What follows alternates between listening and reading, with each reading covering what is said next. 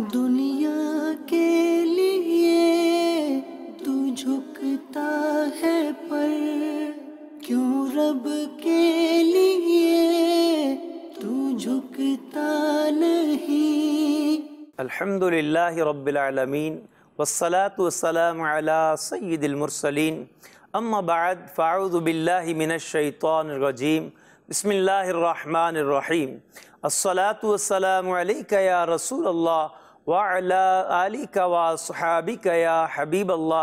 वस्सलामु अलैका या नबी अल्लाह व अला आलिका व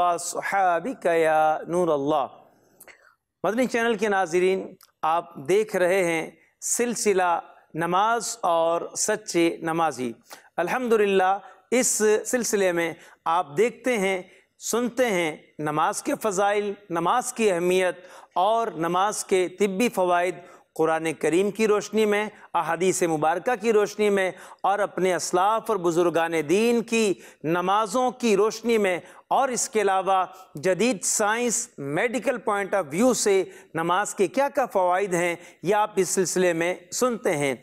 आज के सिलसिले का हमारा ख़ास जो है, वो है नमाज़ फ़जर की अहमियत व फजीलत।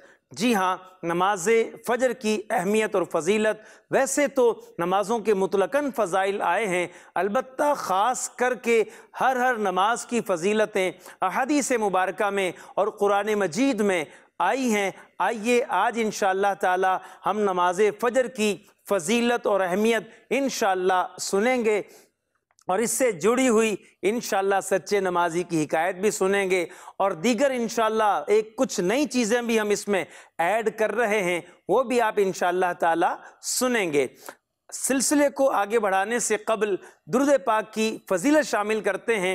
अल्लाह के आखिरी रसूल सल्लल्लाहु अलैहि वसल्लम इशाद फरमाते हैं, जो बंदा मुझ पर रोज़ाना सुबह के वक्त दस मरतबा और शाम के वक्त दस मरतबा द्रुद पाक पढ़ता है, उसके लिए मेरी शफात वाजिब हो जाती है। सल्लु अलल हबीब सल्लल्लाहु ताला अला मुहम्मद वाली व सहबी व बारिक वसलम मदनी चैनल के नाजरीन, नमाज़ फ़जर की फजीलत और अहमियत के पेश नज़र जो आज हम कुरान मजीद की आयात सुनेंगे अदीस मुबारक सुनेंगे और हम बुज़ुर्गों के वाक़ात सुनेंगे और इसके अलावा सहाबा कराम का अमल क्या था, मामूलत सहाबा क्या थे, आइए शुरू करते हैं। अव्वलन कुरान मजीद फ़ुरक़ान हमीद से अल्लाह तबारक व ताली कुरान पाक में इशाद फरमाता है। सूरह हूद की आयत नंबर 114 है।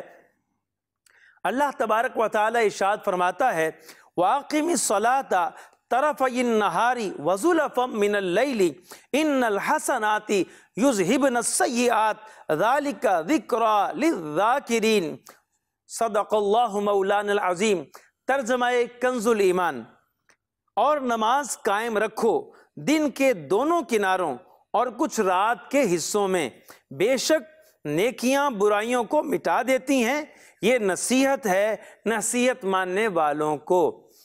इस आयत मुबारक और इसके तर्जमे की तफसीर करते हुए हज़रत सदरफाजिल नईमुद्दीन मुरादाबादी रहमत आप फरमाते हैं, इस आयत में जो दोनों किनारे का ज़िक्र आया है, फरमाते हैं, दोनों किनारों से सुबह और शाम मुराद हैं। जबाल से कबल का वक्त सुबह में और बाद का शाम में दाखिल है। सुबह की नमाज़, फजर और शाम की नमाज़ जोहर असर हैं। आगे शाद फरमाते हैं, और रात के हिस्सों की नमाजें मगरब ईशा हैं। फिर इस आयत मुबारक में ये बात बयान की गई है कि नेकियाँ बुराइयों को ले जाती हैं मतलब मिटा देती हैं। इसके तहत आप फरमाते हैं, नेकियों से मुराद यही पाँचों नमाजें हैं जिनका ज़िक्र आयत मुबारक में हुआ, या मुतलक तातें कोई सी भी नेकियाँ हों, ये जो नेकियाँ होती हैं, ये गुनाहों को मिटा देती हैं। मगर याद रहे, गुनाह सगीरा मिटते हैं, कबीरा गुनाहों के लिए तौबा करना ज़रूरी है। आगे फरमाते हैं, या तो पाँचों नमाजें मुराद हैं, या मुतलकन ताकतें नेकियाँ, इबादत मुराद हैं, या फिर सुबहान अल्लाही वल्हम्दुलिल्लाही वला इलाहा इल्लल्लाहु वल्लाहु अकबर। या ये तस्बी पढ़ना मुराद है। फिर आगे फरमाते हैं, इस आयत से ये मसला मालूम हुआ, नेकियाँ सगीरा गुनाहों के लिए कफारा बन जाती हैं। खा वो नेकियाँ नमाज़ हों, या सदका, या ज़िक्र इस्तफार या फिर कुछ और। फिर आगे फरमाते हैं, मुस्लिम शरीफ की हदीस में है, पाँचों नमाजें और जुमा दूसरे जुमा तक और एक रिवायत में रमज़ान दूसरे रमज़ान तक, ये सब कफारा हैं उन गुनाहों के लिए जो इनके दरमियान वाक़ हों, जबकि आदमी कबीरा गुनाहों से बचे। सुबहान अल्लाह नमाजों की बरकतें कैसी हैं कि अगर कोई फजर पड़ता है और उसके बाद बातकाजा बशरियत, उससे कोई सगीरा गुनाह सरजद हो जाता है, फिर अगर वो जहर पढ़ लेता है तो ये जो गुनाह हुआ, ये जहर की बरकत से मुआफ़ कर दिया जाएगा। इसी तरह पाँचों नमाजों का मामला है जुमा से जुमा का मामला है, रमज़ान से रमज़ान का मामला है। आप फरमाते हैं, नमाजें गुनाहों को मिटा देती हैं और फिर इस आयत का शान नजुल क्या है? मतलब ये आयत किस वाक़े के होने के बाद नाजिल हुई थी? आइए हदीस मुबारक है। एक शख्स ने किसी औरत को देखा और उससे कोई खफीफ सी हरकत, बेहिजाबी की सरजद हुई। उस पर वो नादिम हुआ और रसूल करीम सल्लल्लाहु अलैहि वसल्लम की खिदमत में हाजिर होकर अपना हाल अर्ज़ किया। इस पर यह आयत नाजिल हुई। उस शख्स ने अर्ज़ की सगीरा गुनाहों के लिए नेकियों का कफारा हो जाना क्या खास मेरे लिए है? नबी करीम ने फरमाया, नहीं, बल्कि सबके लिए है। सुबहान अल्लाह नमाजों से गुनाह माफ़ हो जाते हैं, सगीरा गुनाहों को मिटा दिया जाता है। और इस आयत मुबारक से ये भी पता चला कि रब करीम ने दिन के दोनों किनारों में नमाज़ पढ़ने का हुक्म दिया और उसका जो पहला किनारा है, वो सुबह है और सुबह में फजर की नमाज़ है। सुबहान अल्लाह फजर की नमाज़ पढ़ने की ताकीद कुरान मजीद में आई है और न सिर्फ़ कुरान पाक में बल्कि कुरान पाक के अलावा अहादीस मुबारक में भी फजर के फ़जाइल भी आए हैं, अहमियत भी आई है, तरगीब भी दिलाई गई है और बहुत ज़ोर दिया गया है कि फजर की नमाज़ की पाबंदी की जाए और सहाबा किराम इसकी बड़ी पाबंदी किया करते थे।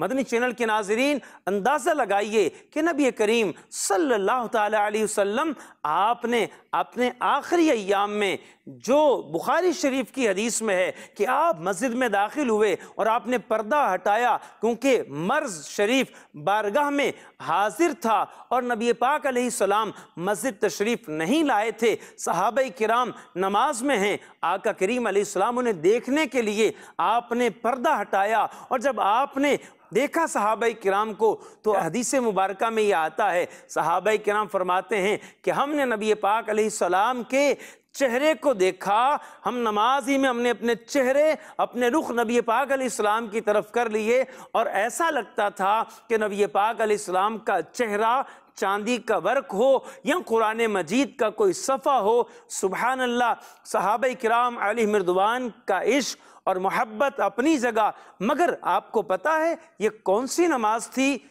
जी हाँ ये फजर की नमाज़ थी। आका करीम सलाम गोया के देखना चाहते थे कि मैंने जिस नमाज़ की ने तरगीब दी है, जिसका मैंने इन्हें अहतमाम करने का हुक्म दिया है फजर की नमाज़ में नबी पाक सलाम ने सहाबा को देखा और ये आखिरी मरतबा का देखना साबित हुआ। गोया कि आका करीम सलाम अपनी ज़िंदगी के आखिर में जिस चीज़ को मुलायजा फरमा रहे हैं, वो फजर की नमाज़ को देखना चाहते हैं कि फजर में लोग किस तरह आते हैं। और फजर की तरगीबें अहादीस मुबारक में बेशुमार बयान की गई हैं। हम इस सिलसिले में एक ख़ास हदीस मुबारक भी शामिल किया करते हैं। मगर आज फजर की नमाज़ की अहमियत के पेश नज़र हम एक से जायद अहादी से मुबारक इसकी फजीलत पर इन अर्ज़ करते हैं। हज़रत अनस रदी अल्लाह तहों से रिवायत है, अल्लाह के आखिरी रसूल सल्लल्लाहु अलैहि वसल्लम ने इशाद फरमाया, जिसने चालीस दिन फजर ईशा बाजमात पढ़ी, उसको अल्लाह ताला दो बरातें अता करेगा, एक नार से, दूसरी निफाक से।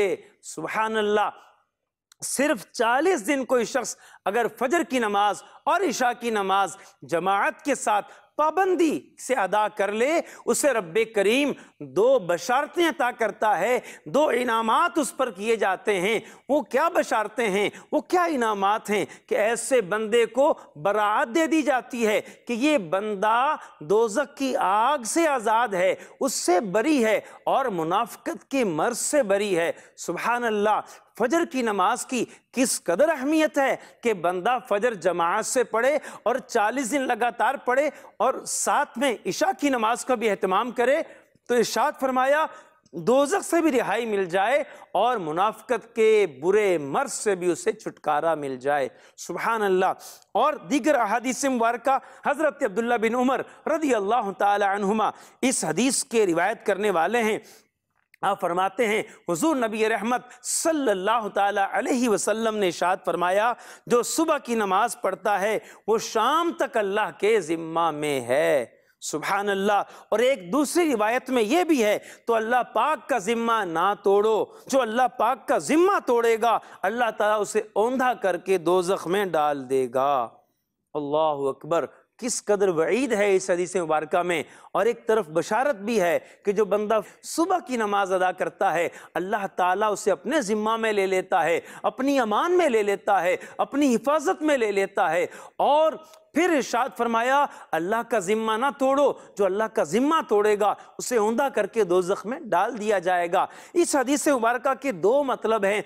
दोनों मतालिब हज़रत अल्लामा अब्दुरऊफ मनावी रहमतुल्लाह ताला ले अपनी किताब जो जामी सगीर की शरह है, फैज़ुल कदीर, उसमें आप इन अहादीस मुबारक के तहत लिखते हैं, जो फजर की नमाज़ इखलास के साथ पढ़े, वो अल्लाह ताला की अमान यानी हिफाजत में है, और ख़ास सुबह की नमाज़ का ज़िक्र करने में हमत ये है कि इस नमाज़ में मशक्क़त ज़्यादा है और इस पर पाबंदी सिर्फ़ वही शख्स कर सकता है जिसका ईमान ख़ास हो और इसीलिए वो अमान का मुस्तक है। सुबहान अल्लाह कि जो शख्स फजर की नमाज़ पढ़ता है, मशक्क़त है, इसमें उठना पड़ता है, नींद की कुर्बानी देनी पड़ती है, ऐसे वक्त में जब लोग कम मस्जिद की तरफ़ जा रहे हैं और चारों तरफ़ सन्नाटा है, ऐसा शख्स जिसके अंदर खालिश ईमान है, वो उठता है और रब करीम की रज़ा के लिए मस्जिद चला जाता है, मशक्क़त उठाता है, अल्लाह ताला उस पर कितना फ़सल करता है,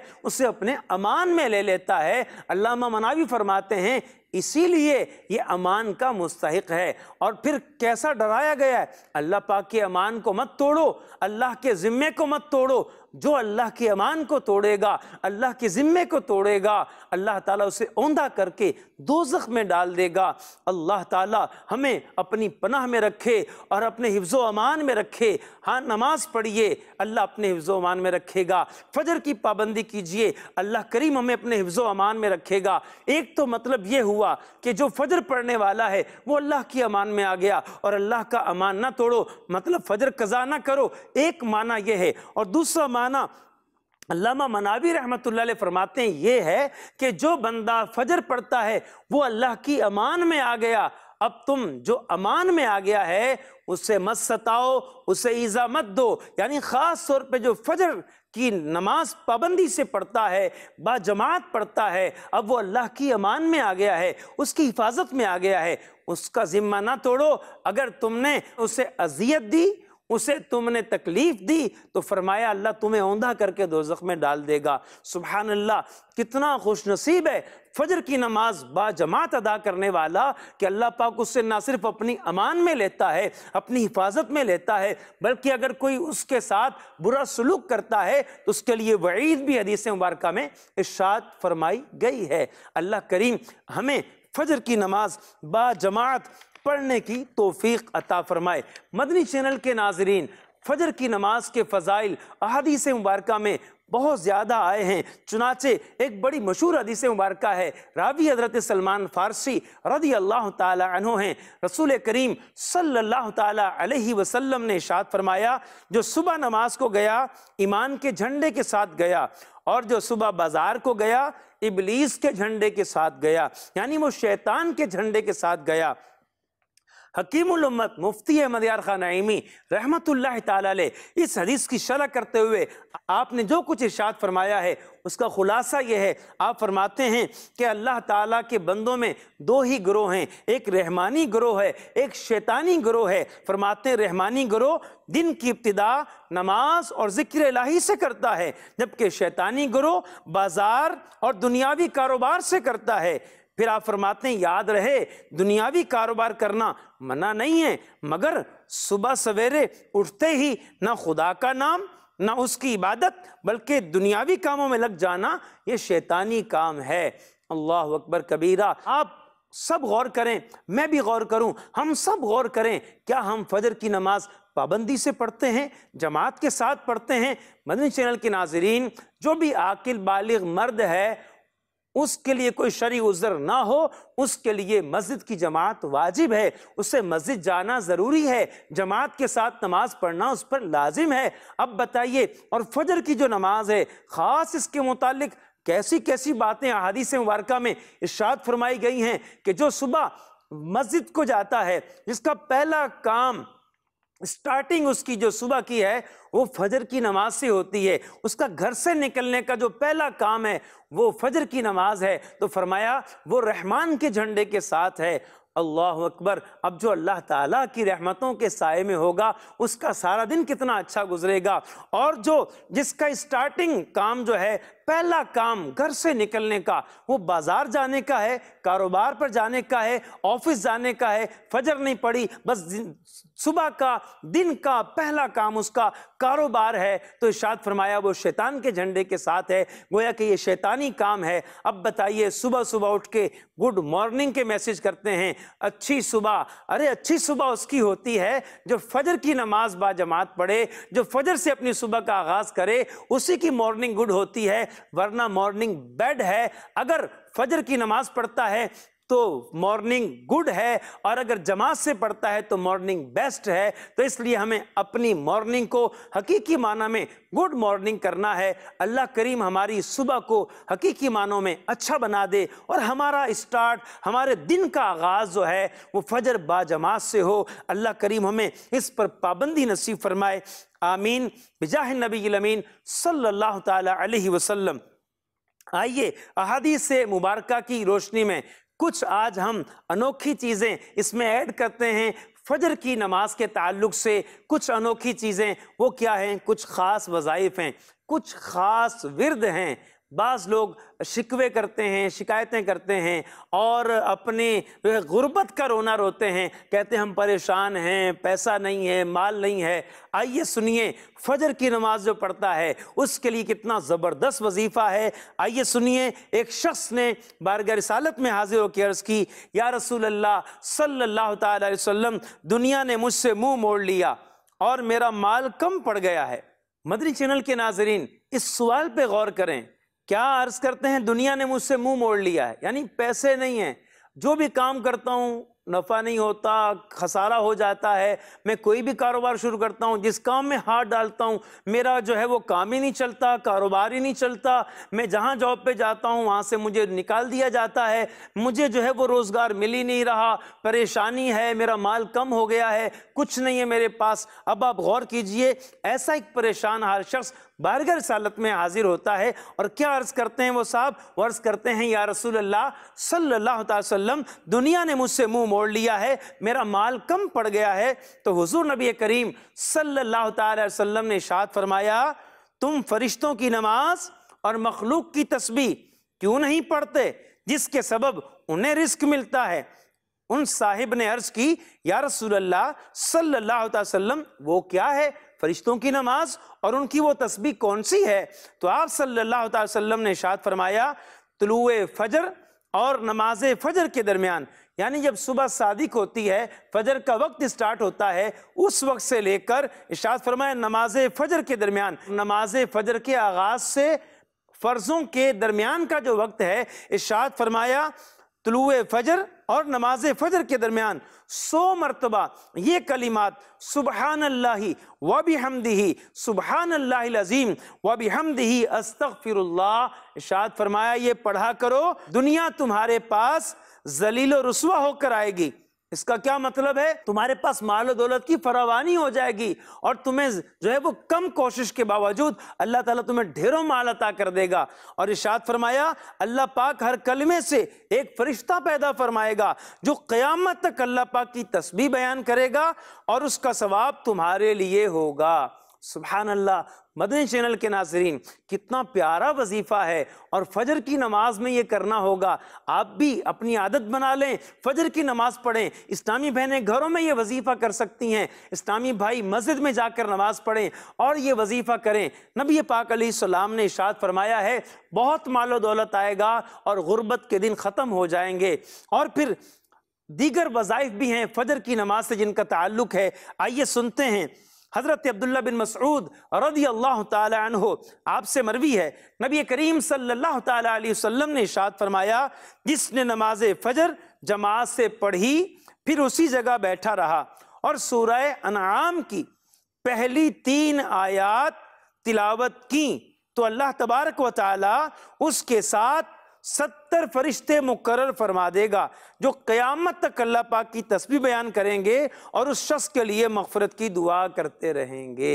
मदनी चैनल के नाजरीन सूर्य अनाम की सिर्फ़ तीन आयात की तिलावत और इतना बड़ा इनाम इशाद फरमाया सत्तर फरिश्ते मुकर फरमा दिए जाएँगे, जो क़्यामत तक अल्लाह पाक की तस्वीर बयान करेंगे और उस शख्स के लिए मफफरत की दुआ करते रहेंगे। अगर फरिश्तों से मफफरत की दुआ चाहिए तो फजर की नमाज़ जमात से पढ़िए और फजर के वक्त ये वजीफ़ा कीजिए, फजर की नमाज़ पढ़ने के बाद उस वहीं पर बैठ जाएँ और ये वजीफ़ा कीजिए। इन फरिश्तों की दुआए मगफरत हमें हासिल हो जाएगी। और इसी तरह से बाज़ लोग बच्चों की वजह से परेशान होते हैं कि औलाद फर्मा बरदार नहीं है ना फरमानी करती है, बात नहीं मानती, बहुत समझा लिया है। इसके लिए भी एक वजीफ़ा है और बड़ा प्यारा वजीफ़ा है। नाफरमान औलाद को फर्मा बरदार करने के लिए ता हसूल मुराद नमाज़ फजर के बाद आसमान की तरफ़ रुख करके या शहीदू 21 बार पढ़िए, या शहीदू 21 बार पढ़िए इन ताला औलाद फर्मा बरदार हो जाएगी। तो कितने प्यारे वज़ाइफ हैं और ये फजर की नमाज़ में करने हैं। अगर आप फजर की नमाज़ पढ़ेंगे, ये वज़ाइफ कर लेंगे, जहाँ फजर की नमाज़ की फजीलत हासिल होगी, अजर सवाब मिलेगा, अल्लाह पाक की इतात करने का अजर मिलेगा और फजर की जो बरक़ात हैं, वो नसीब होंगी। वहीं इन इन वज़ाइफ को करने पर अल्लाह ताला हमें इसकी बरकतें भी नसीब फरमाएगा। मदनी चैनल के नाजरीन, लोगों की एक बड़ी तादाद है जो फजर के वक्त सोती रहती है और रात देर तक जागते हैं, उनको भी चाहिए कि वो नसीहत हासिल करें। आइए सुनिए नबी करीम सल्लल्लाहु अलैहि वसल्लम शब मराज, ऐसे लोगों के पास तशरीफ़ ले गए जिनके सर पत्थर से कुचले जा रहे थे। जब भी उन्हें कुचल लिया जाता, वो पहले की तरह दुरुस्त हो जाते। और ये सिलसिला यूँ ही चलता रहता। आप सल्लल्लाहु अलैहि वसल्लम ने पूछा, ए जबरील, ये कौन है? अर्ज़ की, ये वो लोग हैं जिनके सर नमाज़ पढ़ने से बोझल हो जाते, यानी फ़र्ज़ नमाज़ छोड़ देते थे। और एक हदीस मुबारक के मुताबिक एक दफ़ा नबी पाक सलाम ने शाद फरमाया, मुझे ले जाया गया और मैंने अजाबात देखे, एक शख्स को देखा, उसका सर कुचला जा रहा है बार बार कुचला जा रहा है। बताया गया, या रसोल्ला अलैहि वसल्लम, वो जो शख्स आपने देखा था, ये वो है जिसने कुरान पढ़ा, फिर उसको छोड़ दिया और फ़र्ज़ नमाजों के वक्त सो जाता था। अब आप गौर कीजिए पूरी रात जागना या देर तक जागना और फजर का वक्त आए तो सोते रह जाना। एक हदीस मुबारक में तो यहाँ तक बताया गया है, जब अर्ज़ की गई, या रसूल अल्लाह सल्लल्लाहु अलैहि वसल्लम, एक शख्स फजर में नहीं उठा और वो सोता रह गया और फजर की नमाज़ छोड़ दी। इशाद फरमाया, उसके कान में शैतान ने पेशाब कर दिया तो इसलिए वो सोता रह गया। फजर की नमाज़ की पाबंदी कीजिए वरना कहीं ऐसा ना हो कि हम नींद की वजह से फजर छोड़ दें और नमाजों के वक्त हम सो जाएँ। बहुत से लोग होते हैं, ऑफ़िस से वापस जाते हैं, नमाज़ का टाइम होता है, मगर वो सो जाते हैं जाकर। इसी तरह लोग फजर के वक्त में सोए रह जाते हैं। फ़र्ज़ नमाज़ के वक्त जो सोते रहते हैं, उनको ख्याल करना चाहिए और अपनी इस रूटीन को चेंज करना चाहिए। जब भी नमाज़ का वक्त हो, उस वक्त सोए नहीं, बल्कि जागते रहें, ताकि कहीं इस, हम जो है वो इस अजाब का शिकार न हो जाएँ। अल्लाह ताला हमें फजर पाबंदी से पढ़ने की तोफ़ी अता फरमाए। आइए मदनी चैनल के नाजरीन सिलसिले में शामिल करते हैं सच्चे नमाजी की हिकायत। और वो सच्चे नमाजी कौन हैं? हज़रत फ़ारूक आज़म अमीरमिन सैदना उमर बिन ख़त्ताब रदी अल्लाह तहो आपके बारे में आता है कि जब आप पर कातिलाना हमला हुआ और आप ज़ख्मी कर दिए गए, आपको घर उठा कर लाए गए, मुसलसल खून बहने की वजह से आप पर गशी तारी थी। जब होश आया तो आपके शहजादे अर्ज़ करते हैं कि आपने मेरा हाथ थाम लिया और मेरा हाथ पकड़कर मुझे अपने पीठ पीछे बिठा लिया और आपने वज़ू किया और नमाज़ फजर अदा की। यानी फजर के वक्त में आप पर कातिलाना हमला हुआ, आपको घर लाया गया, जैसे ही होश आया, आपने वज़ू किया और फजर की नमाज़ अदा की। और एक रिवायत में यह है कि जब आपको होश आया तो आपने पूछा, क्या लोगों ने नमाज़ फजर अदा कर ली? बताया गया, सबने नमाज़ अदा कर ली। तो इशाद फरमाया, ला इस्लामा लिमन तरक सलाह कि उसका इस्लाम कामिल नहीं है, वो हकीकी मुसलमान नहीं है जो नमाज़ छोड़ देता है। सुबहान अल्लाह कैसे सच्चे नमाजी थे, कैसे पक्के नमाजी थे सैदना फारूक आज़म रदी अल्लाह तहो नमाजों की किस कदर हिफाजत करने वाले थे, शरीयत के अहकाम की पासदारी किस कदर सख्ती के साथ किया करते थे, आपके बारे में तो ये भी आता है कि आप ज़ख्मी होने के बाद तीन दिन तक ज़ाहरी हयात से मुतसिफ रहे और तीनों दिन आपने ज़ख्मी हालत में सारी नमाजें अदा की। सुबहान अल्लाह अल्लाह करीम हमें भी नमाज़ का ऐसा जज्बा अदा कर दे। आज तो थोड़ा सा सर में दर्द हो जाए, आज थोड़ी सी तकलीफ़ हो जाए। हम नमाज़ छोड़ देते हैं, हम नमाज़ नहीं पढ़ते। प्यारे प्यारे इस्लामी भाइयों, मदनी चैनल के नाजरीन, गौर कीजिए सैदना फारूक आज़म रदी अल्लाह तहो जहाँ कनी के आलम है, फिर भी आप नमाज़ से पीछे नहीं हटते। नमाज़ नमाज़ अदा करते हैं और ख़ास तौर पे आपने देखा कि फजर की नमाज़ आपने ज़ख्मी होने के बावजूद भी अदा की।